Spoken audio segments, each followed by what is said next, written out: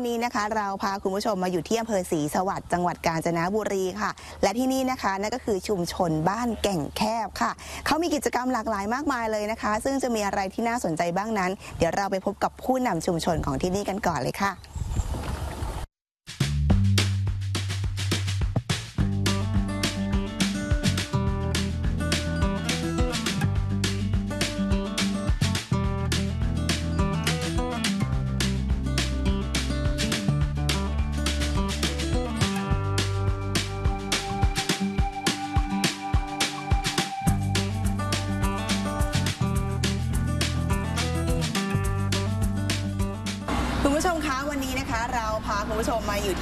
สวัสดิ์จังหวัดกาญจนบุรีค่ะ เรียกว่ามาอำเภอนี้ทีไรนะคะ จะต้องมีกิจกรรมที่น่าสนใจนะคะ วันนี้เราอยู่กันที่ชุมชนบ้านแก่งแคบค่ะ เดี๋ยวจะมาพูดคุยกับผู้นำชุมชนที่นี่นะคะ เกี่ยวถึงกิจกรรมต่างๆ ที่นี่ว่ามีอะไรที่น่าสนใจบ้างนะคะ เราอยู่กับผู้ใหญ่โดค่ะ ผู้ใหญ่กฤษณะตันปานบุญค่ะ สวัสดีค่ะ สวัสดีครับผม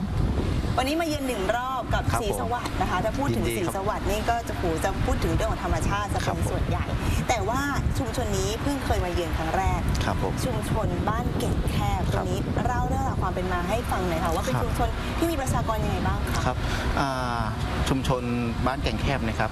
ต้องก่อนอื่นเราบอกเลยว่าเป็นชุมชนแรกของอำเภอศรีสวัสดิ์พูดง่ายๆคือเป็นด่านแรกนะครับเมื่อจะเข้าอำเภอศรีสวัสดิ์เนี่ยก็จะผ่านชุมชน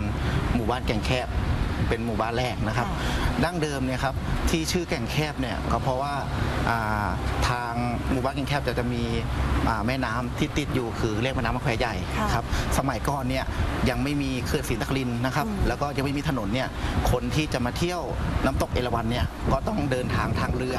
นะครับที่ชื่อแก่งแคบเพราะว่าพอมาถึงหมู่บ้านแก่งแคบเนี่ยเรือจะผ่านไม่ได้ เพราะว่าจะมีพวกแอ่งหินขึ้นเขินพวก ขอบแคบๆเนี่ยครับเขาเลยได้ชื่อว่าเป็นแก่งแคบนะครับผมก็ประมาณนี้ครับผม ก็คือมีที่มาที่ไปของชื่อของหมู่บ้านชุมชนใช่ครับด้วยผมตอนนี้ที่นี่เขาเรียกว่ากลายเป็นสถานที่ท่องเที่ยวที่ใช่ น่าคสรับนใจมีประมาณไหนบ้างคะพี่ใหญ่ อ่าก็ก่อนอื่นเลยว่าแก่งแคบเนี่ยหมู่บ้านแก่งแคบเนี่ย ของอำเภอศรีวัตรเนี่ยมีสถานที่ท่องเที่ยวใหญ่ๆอยู่สองที่เลยในอำเภอศรีวัตรนะครับเรียกว่าเป็นติดหนึ่งอ่าเป็นติดชื่อดังของอาจังหวัดกาเลยก็คือน้ำตกเอราวัณนะครับแล้วก็ขึ้นศรีนครินนะครับผมแล้วก็ท่องเที่ยวชุมชนเนี่ยของเราเนี่ยก็จะมีพวกสถานประกอบการแพพักที่อยู่ท้ายเขื่อนนะครับ แพรพักของเราเนี่ยก็จะเกี่ยวเน้นไปเรื่องทางธรรมชาติ ไม่มีเกี่ยวกับพวกอ่าเปิดดนตรีดังอะไรครับอ่าเป็นแพรเปียกแพรล่องนะครับผมแล้วก็ของเราเนี่ยยังมีสถานที่ท่องเที่ยวสำคัญอีกก็คืออามีศูนย์อนุรักษ์วัวแดงนะครับ แล้วก็ตอนนี้หมู่บ้านแก่งแคบก็จะเริ่มทำกลุ่ม ชื่อว่ากลุ่มวิสาหกิจชุมชนยั่งยืนหมู่บ้านแก่งแคบมานะครับ แต่เดิมเลยเนี่ยหมู่บ้านแก่งแคบครับ คนในหมู่บ้านเนี่ยก็อาชีพจะมีรับจ้างทั่วไปครับ แล้วก็จะมีพวกหาของป่าบ้างนะครับผมแต่ตอนนี้ก็มีมาตรการหลายๆอย่างเกี่ยวกับกรมอุทยานนะครับที่มีข้อบังคับมาไม่ให้เกี่ยวกับการทำปศุสัตว์นะครับหมู่บ้านแก่งแคบก็มีการเลี้ยงปศุสัตว์เหมือนกัน ก็คือเลี้ยงกระบือนะครับ แต่ว่าไม่ได้เลี้ยงเป็นคอกครับ จะเลี้ยงไปปล่อยสู่ป่ามากกว่านะครับพอถึงเวลาก็จะต้อนเข้าคอกเงี้ยครับผมก็ตอนนี้ทางกรมอุทยานเขาก็ผลักดันออกมานะครับทีนี้เรื่องอ แหล่งทำอาหารกินก็ลดน้อยลงนะครับแล้วก็บอกว่าผมน่ะได้ดมตำแหน่งเป็นผู้ใหญ่บ้านเนาะก็ คิดว่าจะทำยังไงดีให้กับชุมชนเนี่ยได้เกิดรายได้ที่มากขึ้นนะครับ แล้วก็มีความเป็นอยู่ความกินที่ดีขึ้น ผมก็เลยตั้งกลุ่มวิสาหกิจชุมชนมากลุ่มวิสาหกิจชุมชนเนี่ยโดยใช้พื้นที่สาธารณประโยชน์ของหมู่บ้าน 17 ไร่นะครับ แต่เดิมก็เป็นป่ารกร้างครับก็ได้ความอนุเคราะห์จากท่านนายกปราศาสตร์การมนวยครับนายกองค์การบริหารส่วนตำบลเนี่ยเอารถไถเอาเครื่องจักรมาเคลียร์ให้นะครับ ก็เลยร่วมกันปลูกผัก ปลอดสารพิษ การปลูกผักปลอดสารพิษเนี่ยเราก็จะปลูกในความต้องการของอาชาวบ้านและก็สถานประกอบการผักของเราเนี่ยส่วนมากจะส่งสถานประกอบการสำคัญสคัญๆในหมู่บ้านเราแล้วก็ใกล้เคียงครับผม ก็เรียกว่ามีกิจกรรมต่างๆ มากมายหลากหลายกิจกรรมนะคะ วันนี้อาจจะไปทัวร์ได้ไม่ครบโอ้ใช่ครับเพเยอะราะว่าเลจยริงๆคือมีเยอะมากเยอะคืมากควรครัจะบมาพักค้างคืนแล้วก็มา ทัวร์กิจกรรมทั้งหมดภายในชุมชนใช่นะครัคะ บ แต่ว่าอย่างที่เราอยู่ตรงนี้ด้านหลังเรามีแปลงผักตรงนี้เป็นแปลงผักปลอดสารพิษใช่ไหมคะ ถูกต้องครับ เดี๋ยวจะรบกวนผู้ใหญ่พาไปชมหน่อยได้ไหมยินคะ ดีเลยว่าครับเรามีพื้นที่ในการปลูกอย่างไรบ้าง แล้วก็ยินดีที่สำครัคัญบเลยคือเขามีการต่อยอดให้กับชุมชนถูกต้องครับ ยังไงบ้างนะคะ เดี๋ยวเราไปลงแปลงกันเลยดีกว่าค่ะ ได้ครับครับ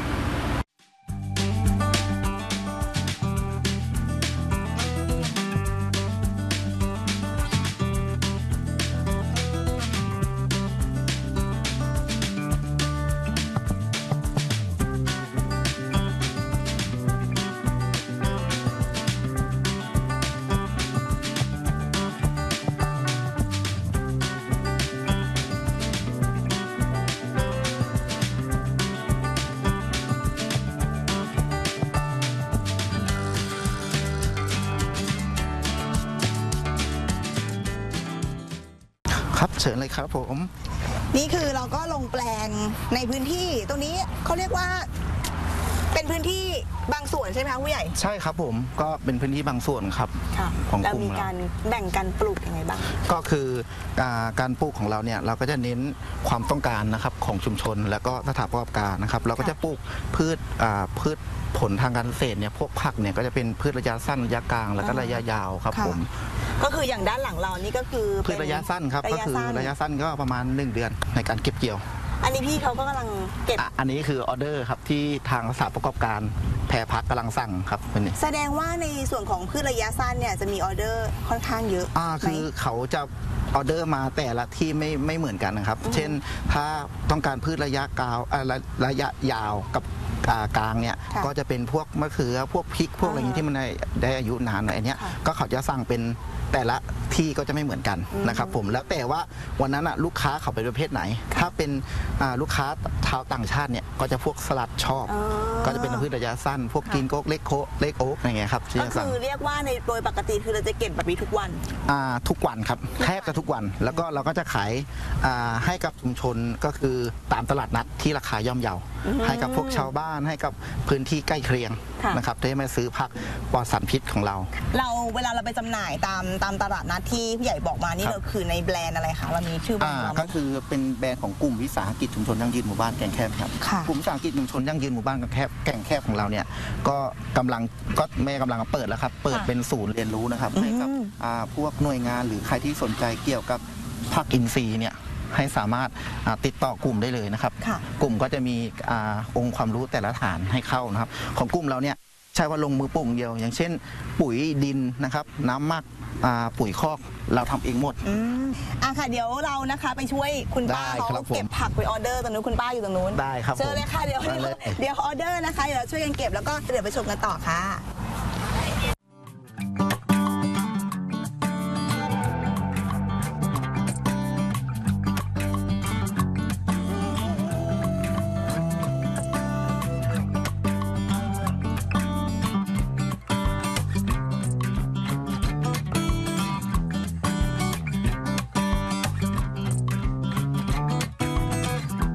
คุณผู้ชมคะตอนนี้นะคะเราก็พาคุณผู้ชมมาอีกหนึ่งจุดที่น่าสนใจในพื้นที่นะคะ นั่นก็คือศูนย์อนุรักษ์บัวแดงนะคะ อยู่กับผู้ที่จะแนะนำเราค่ะ คุณป้าส้มนะคะ สวัสดีค่ะสวัสดีค่ะ ป้าส้มแนะนำตัวคุณผู้ชมหน่อยค่ะค่ะสวัสดีค่ะ ค่ะดิฉันสุภานีจำปาเงินนะคะ หรือว่าโดยทั่วไปก็จะเรียกกันป้าส้มนะคะค่ะเป็นเจ้าหน้าที่ของศูนย์ศึกษาธรรมชาติและสัตว์ป่าเขาน้ำพุแห่งนี้ค่ะ ค่ะ ค่ะ ในพื้นที่นี้เรามาเนี่ยก็จะเห็นเป็นคอกบัว อันนี้คือบัวแดง ค่ะ พื้นที่นี้ประมาณสักกี่ตัวคะที่เราอนุรักษ์ไว้ตรงเนี้ยค่ะ ค่ะ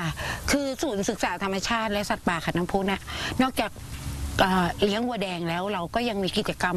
อีกหลาย ๆ ด้าน เช่น การสร้างจิตสำนึกให้กับเยาวชนในเรื่องของการจัดท่าเยาวชนนะคะ ให้กับเด็กๆ และก็นักศึกษา แล้วก็ยังมี เอ่อเรื่องจิตอาสานะคะในการทำกิจกรรมเขาเรียกว่ากิจกรรมที่ฟื้นฟูการอ่าฟื้นตัวของป่าต่อมาเราก็เลยมีการปล่อยวัวแดงครั้งแรกของโลกนะคะ ซึ่งศูนย์นี้อาจจะเป็น ที่ให้คนได้เข้ามาเรียนรู้ในเรื่องของวัวแดงมากขึ้นนะคะค่ะซึ่งปัจจุบันวัวแดงก็จะน้อยลงนะคะอ่าของเราเนี่ยเราจะเลี้ยงแบ่งเป็นคอกๆอย่างค่ะที่น้องเห็นนะคะค่ะซึ่งว่าแต่ละคอกเราก็จะไว้อ่าสองตัวสามตัวนะคะคอกหนึ่งก็จะมีความกว้างประมาณหลายไร่ค่ะ ประมาณสามสี่ไร่ห้าไร่นะคะค่ะก็ตามนั้นนั้นเดี๋ยวเราเดินไปชมดีกว่านะคะ นี่ด้านหลังเราก็จะมีมีป้ายชื่อบอกอยู่ใช่ไหมคะป้าส้ม ค่ะ เรานี่มีชื่อทุกตัวเลยเหรอคะ จะมีชื่อทุกตัวค่ะ อันนี้ชื่อว่าน้องน้องอะไรโคคะวิเนี่ดยน้องโควิดทำไมถึงชื่อโควิดคะตัวนี้ ตัวนี้เขาเกิดตอนโควิดนะคะ ค่ะ แต่ว่าน้องเขาเชื่องนะคะ สุขภาพก็ดีค่ะ โตเร็วมากเลยขนาดตัวแค่นี้นะคะ ลักษณะความพิเศษของวัวแดงเป็นแบบไหนคะป้าคะ ลักษณะพิเศษก็คือ เขาบอกว่าดูง่าย ๆเลย มันจะมีสีขาวกับหนึ่งด อะไรนะคะำสีสีขาว ให้เราสังเกหนึ่ตงดำอ่าค่ะ สีขาวก็คือหนึ่งนะคะ ตรงเท้าเขาจะมีถุงเท้านะคะอ๋อสีขาวทั้งสี่นะคะค่ะ สองก็คือขอบปากนะคะ น้องจะเห็นไหมขอบปากค่ะสีขาวอ่าฮะ สามก็ตรงก้น ตรงก้นก้นที่ก็จะขาว ใช่ค่ะค่ะอ่าขาวที่สี่นะคะ ค่ะจะเป็นรอบดวงตาค่ะ อ๋อ ขาวที่สี่เป็นรอบดวงตา มีขา มีขอบปาก มีก้นและรอบดวงตา ค่ะ คือสีขาว หนึ่งดำก็คือเส้นหลังค่ะ เส้นหลังตั้งแต่เอ่อตรงหลังเขานะคะตรงค่ะเส้นดำเขาจะมีเส้นดำตลอดจุดหาง อ๋อก็ คือเส้นแดงบนบนตัวเขา ค่ะ ยิ่งตัวเล็กๆ เราจะเห็นได้ชัดนะคะ คุณผู้ชมท่านใดสนใจก็สามารถมาได้ที่นี่นะคะ ที่นี่ยังมีในส่วนของกิจกรรมต่างๆ ที่ให้คุณผู้ชมได้ทำกันด้วยนะคะ เดี๋ยวเราชมความน่ารักของน้องๆวัวแดงกันก่อนนะคะ และเดี๋ยวเราจะไปดูผลิตภัณฑ์ของที่นี่เขาบอกว่ากาแฟขึ้นชื่อมาก เดี๋ยวต้องไปชิมค่ะนะคะ วันนี้ขอบคุณป้าส้มนะคะ ขอบคุณค่ะมากเลยค่ะค่ะขอบคุณเดี๋ยวเราไปค่ะ จุดอื่นกันต่อเลยดีกว่าค่ะ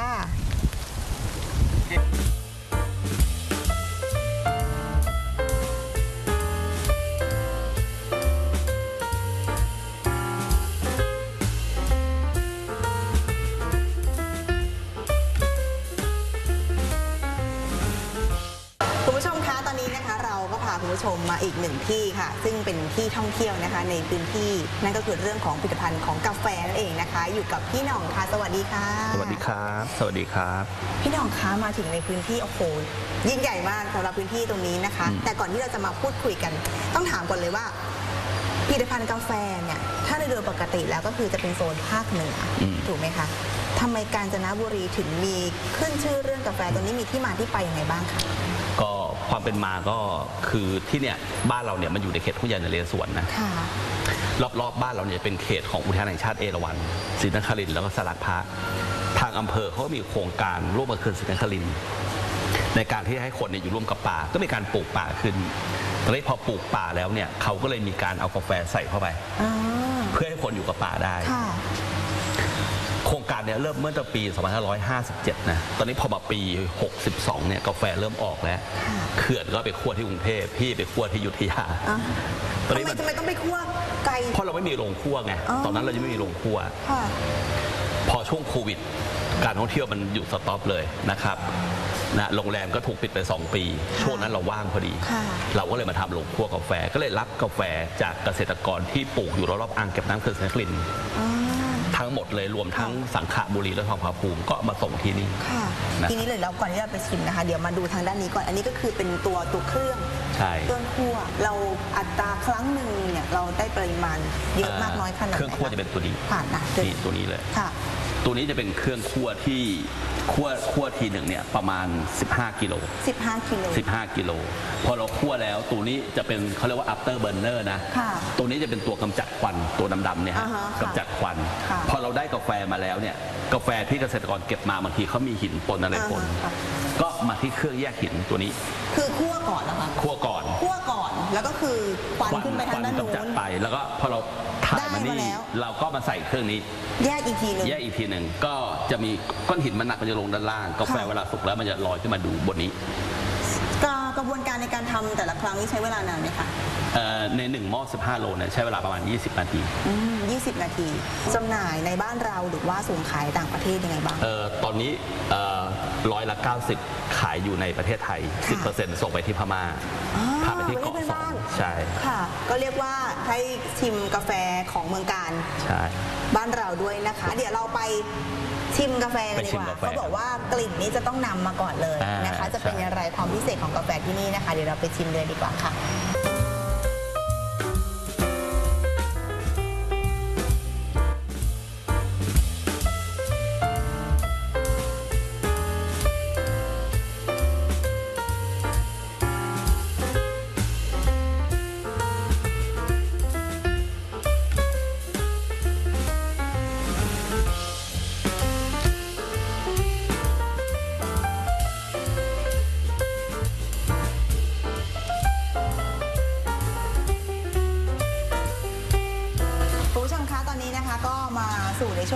ชิมกาแฟโอ้โหวันนี้โอกาสดีมากเลยค่ะผู้ใหญ่ใช่ครับผมค่ะบผม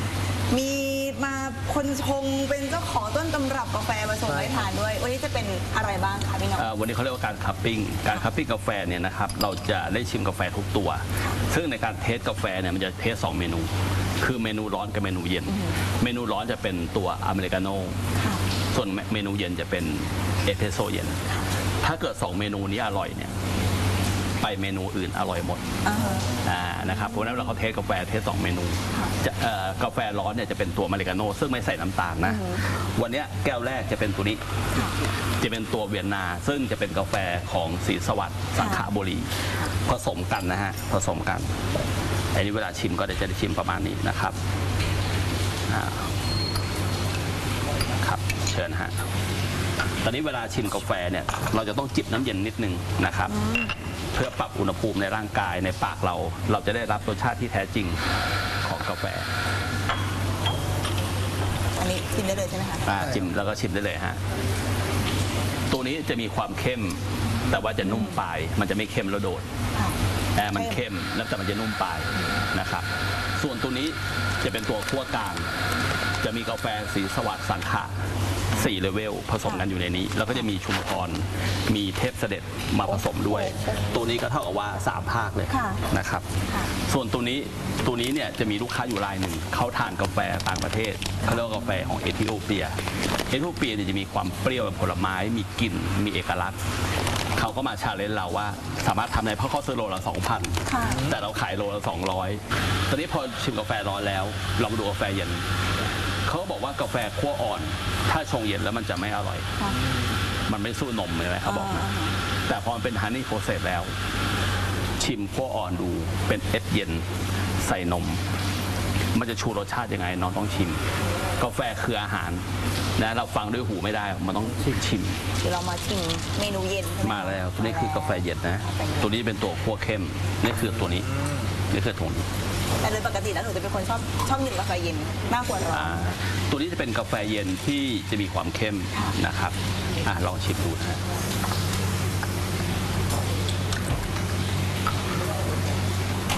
อันนี้อารมณ์ประมาณกาแฟแก้วแรกของวันนะฮะจะประมาณนี้ลองชิมดูเข้มเข้มแล้วก็มีความมันในตัว ทีนี้อยากจะให้พี่หนอกนะคะได้ฝากถึงคุณผู้ชมนิดหนึ่งถ้าหากจะจะเดินทางมาในพื้นที่ศรีสวัสดิ์อยากจะมาเรียนรู้เรื่องของกาแฟตรงนี้สามารถติดต่อได้ยังไงบ้าง สามารถมาช่วงเวลาไหนได้บ้างคะเชิญได้เลยค่ะ ครับก็ประชาสัมพันธ์ถึงเพื่อนๆที่ดูรายการอยู่นะครับ ถ้าท่านอยากจะเข้าถึงธุรกิจกาแฟ ก็เดินทางมาหาผมที่โรงคั่วกาแฟมัตตาลาอยู่ก่อนถึงตกเอราวัณ5กิโลนะครับถ้าท่านอยากจะมา blend กาแฟมาคั่วกาแฟเองเนี่ยท่านสามารถติดตามผมได้ในไลน์ add อมตาลาหรือใน Facebook อมตาลาคาเฟ่ถ้ายังไม่มีเวลามาก็สามารถให้ inbox เข้ามาก่อนนะครับ ทุกคำถามมีคำตอบ ใครที่ทำร้านกาแฟอยู่แล้ว อยากหาเมล็ดกาแฟดีๆ ไปใช้กับร้านท่าน ท่านสามารถที่จะมาเบรนมาผสมกาแฟเป็นส่วนของท่านเองได้ด้วยที่นี่ครับเรียกว่าวันนี้นะคะครบครันจริงๆนะคะ แต่ว่าเสียดายที่เวลาเรามีจำกัดเนาะมันไม่สามารถที่จะดูในทุกขั้นตอนได้นะคะ วันนี้ขอบคุณพี่หน่องเป็นอย่างสูงเลยนะคะ ขอบพระคุณค่ะยินดีครับ ไปดูผักก็ไปดูมาแล้ว ดื่มกาแฟแล้ว ที่พักต้องมาแล้วค่ะผู้ใหญ่คะวันนี้จะพาไปดูตรงจุดไหนบ้างคะวันนี้ครับก็จะพาไปที่แพใต้แคมป์รีสอร์ทครับเราไม่ได้แค่ไปพักเดียวนะครับเราจะมีกิจกรรมล่องแพเปียกด้วยค่ะ เดี๋ยวนี้จะพาท่านผู้ชมนะครับแล้วก็ทางรายการไปเที่ยวกันค่ะมาศรีสวัสดิ์ต้องไปล่องแพนะคะ จะไปที่ไหนบ้างเดี๋ยวพาไปชมค่ะ